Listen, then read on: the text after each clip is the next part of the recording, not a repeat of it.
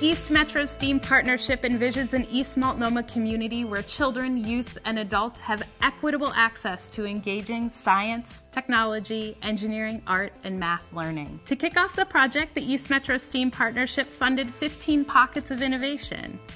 Each pocket works with youth and advances one or more elements of STEAM education. Let me start with a little known fact. All kids are scientists. Kids are excited to explore the world around them, and science is everywhere. For our pocket, we wanted to teach digital storytelling, which is all about students constructing knowledge via technology rather than just consuming it.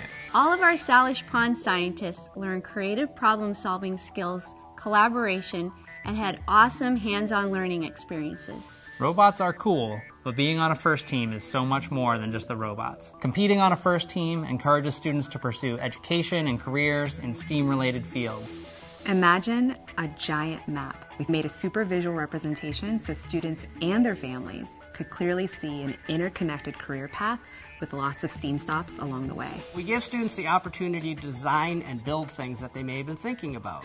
And when students do this, they realize that some of these ideas are so great and they may one day change the course of human history, and that gets them really excited and engaged. Ever wonder what a hexaflexagon is? Our friends at Make Think Code can help you create strange universes. The Discovery and Dreams Initiative is a traveling program for youth and young adults that engages them in creative thinking. Together, we're helping kids have awesome science experiences and see themselves as scientists because we know they already are. Science, technology, engineering, arts, math, STEAM. STEAM. STEAM. STEAM. STEAM.